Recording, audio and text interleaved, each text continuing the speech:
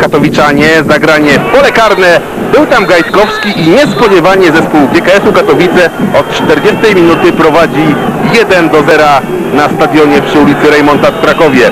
Ulubieniec katowickiej publiczności Krzysztof Gajtkowski. Ten człowiek ma zastąpić kibicom Tomasza Moskałę.